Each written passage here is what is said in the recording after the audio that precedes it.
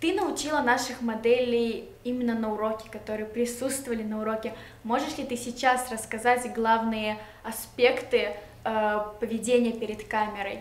Конечно, могу. Э, поделюсь с вами э, какими-то секретами, секретами можно сказать. Э, ну, например, надо быть, конечно же, расслабленной, то mm-hmm. есть э, дыхание очень важно на съемке, то есть ты должна именно показывать естественность, что тебе не страшно на съемке, ты не стрессуешь. То есть это как будто просто вот берут фотографии, это не какая такая прям съемка, например, какая-то fashion для какого-то mm-hmm. журнала, не знаю, там, Vogue, которое все видят просто. То есть не надо стрессовать, надо расслабиться.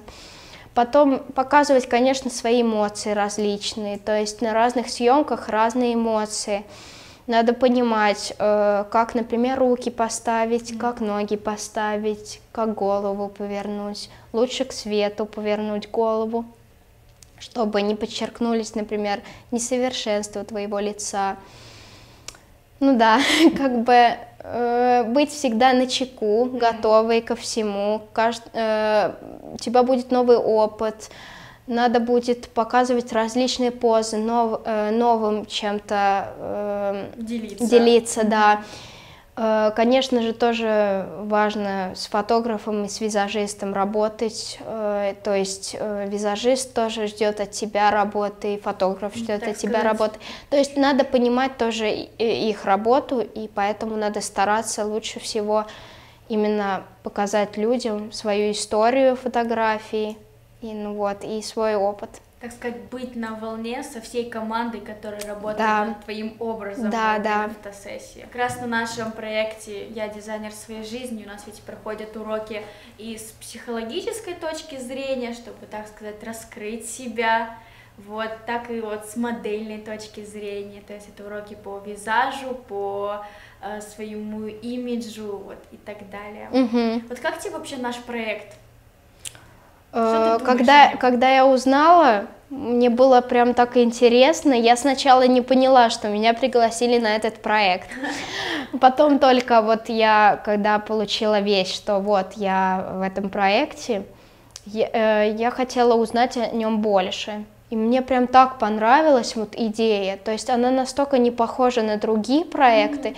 и настолько много можно научиться в одном проекте. То есть разные взгляды и вообще разный опыт получать. Это прям обогащает, обогащает mm. свое мнение, свой внутренний да, мир. внутренний mm. мир. Поэтому это очень-очень здоровский проект. Просто расскажи о том, как можно, например, построить модельную карьеру для начинающей модели, что важно сделать, э, как, например, подготовить себя к этому. Ну, как, например, я начинала, то начинала я с пустого листа, как очень многие.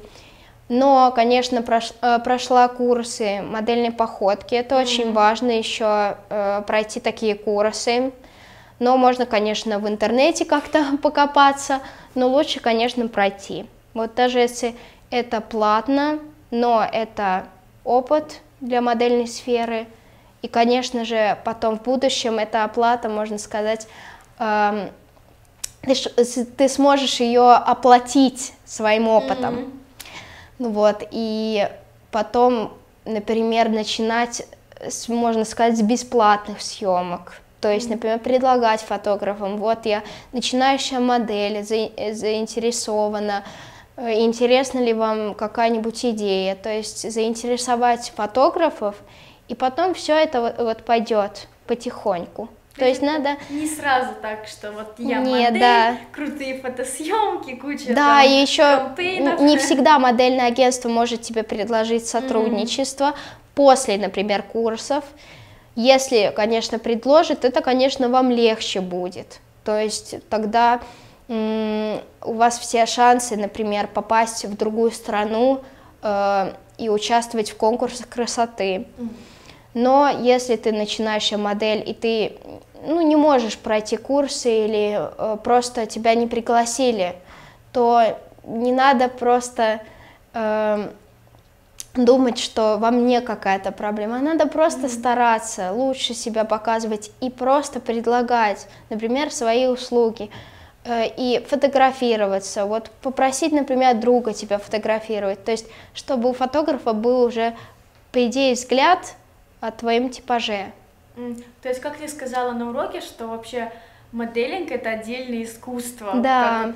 наравне, может быть, с рисованием или даже вот физкультурой, что в моделинге есть и свои, как бы, да, это, это секреты да. и так далее, которые Надо работать приходят. и со своим телом, и со своим внутренним миром. То есть настолько много вещей связано в моделинге.